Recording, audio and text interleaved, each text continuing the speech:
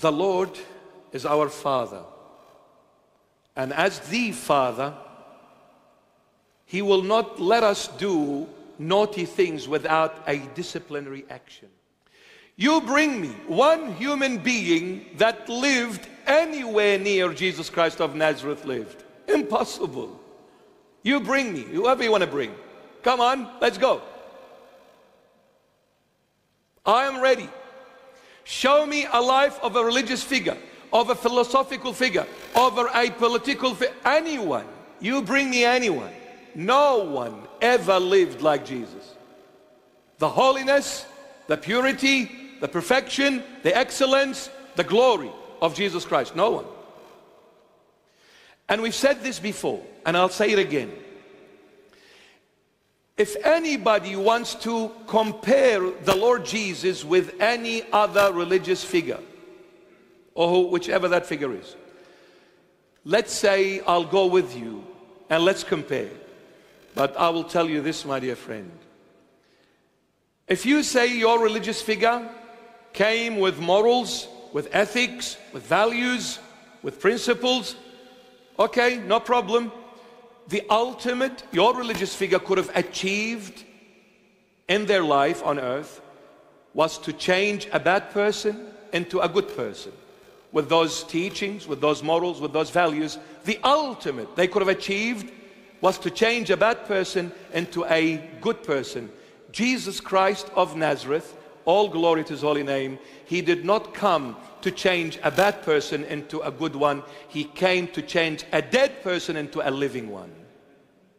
In this, there is no comparison. Everyone falls short.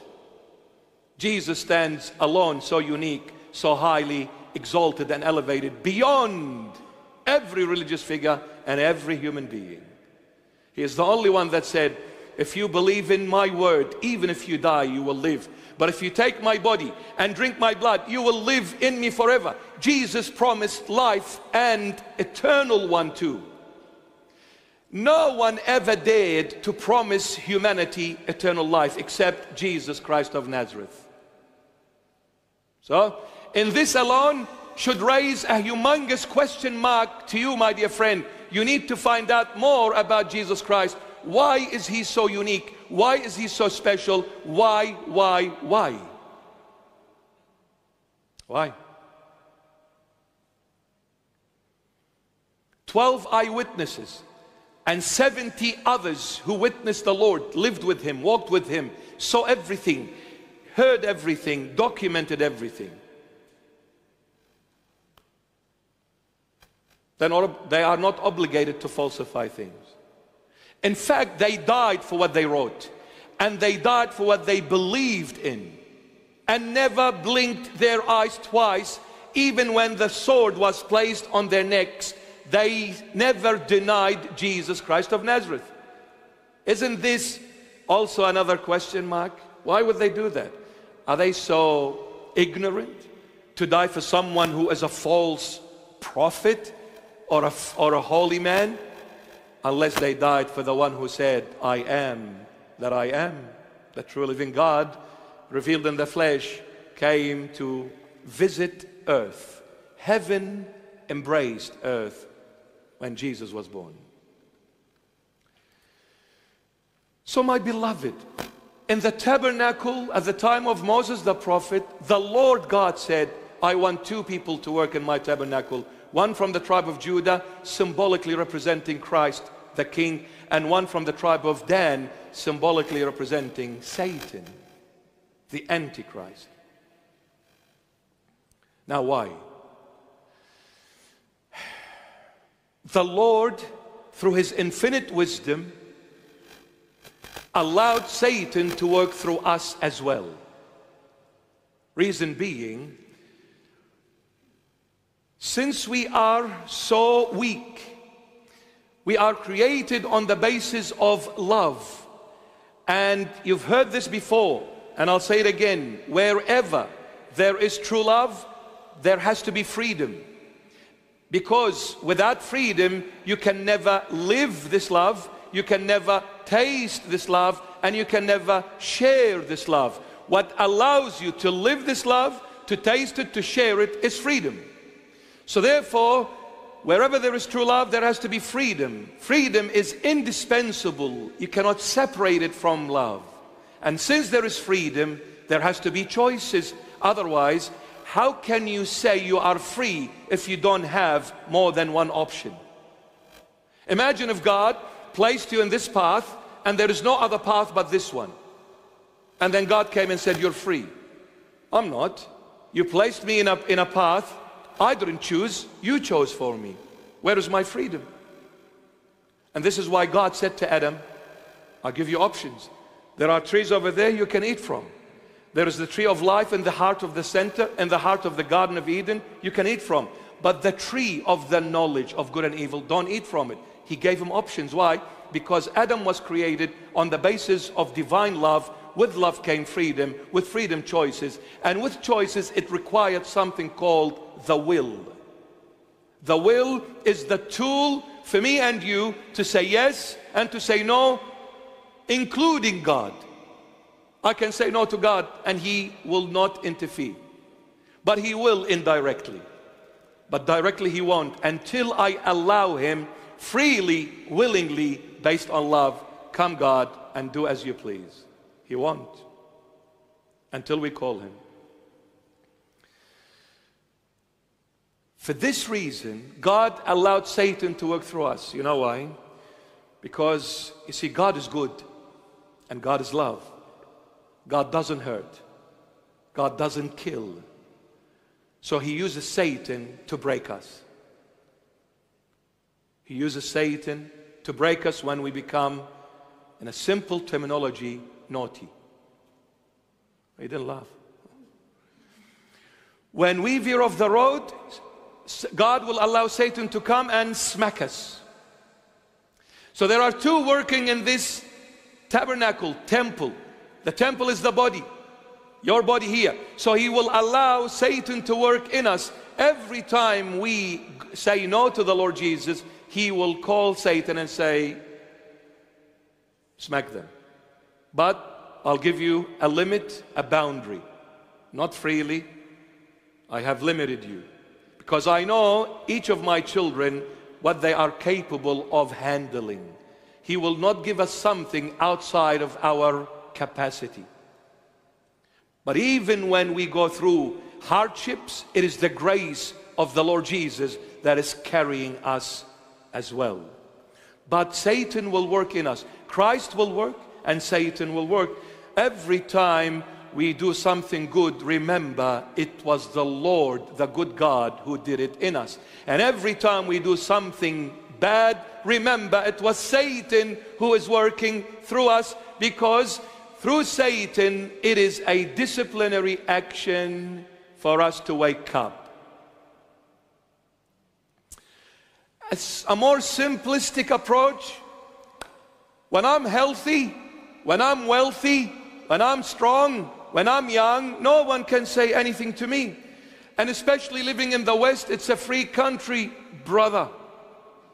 What's up, bro? Get down, brother. Lay me some skin. Whoa, what's up? What, what, what, so when I am healthy, wealthy, still young, and it's a free country, I can go wherever, however, with whomever. No one can stop me. Mom and dad come and say, son, Please don't go with these so-called friends. Be quiet, mom and dad. And if you talk more, I'll dial triple zero. They'll throw you in the cage and take you to Fairfield Police Station. Hello to all the coppers. and please don't book me when I'm speeding on the road, okay? That's a confession. all right. We try to be good. But if you book me, I'll book you. I'll book you my way. I'll make a phone call. I'll make the phone call to the one who created you and created me, so you better not book me. All right. So, parents say, don't do it. No, I'll do whatever I want. The, the priest, the father says, don't go, don't mix. No, we don't listen. We don't listen to, to no one. What happens? The Lord allows Satan to come and get me into trouble. Ah. I was caught taking drugs. The coppers caught me. I was speeding and I was drunk and I had an accident. And my friend got really hurt in that accident. He almost lost his life. What a big shake, what a big quake happened in my life. Who allowed it? The Lord. Why? Because I'm disobedient. I'm not listening. And if He lets me freely as I wish, I will end up destroying my entire being. God is love. He purchased us with His own precious blood on Calvary on the cross. He will not let you go until He calls you home. So He will let Satan to come. When I'm healthy, I don't care about anything. When I'm sick, why can't we be good boys and good girls without going through hardships?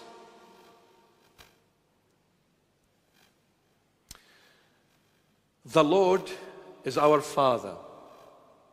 And as the Father, He will not let us do naughty things without a disciplinary action. And that disciplinary action, Satan is working also. Satan will come and break us. Christ, who is also working in us, will make us.